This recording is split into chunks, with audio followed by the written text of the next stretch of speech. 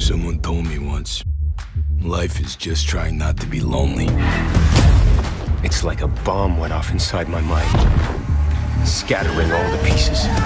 Every time I try to put the pieces together, something won't fit. There's something on the edges. Someone, like a dark shadow, waiting for me. This face has everything that I ever did wrong written all over need to let me be what I'm meant to be. I'm not the one who dies. I'm the one who does the killing.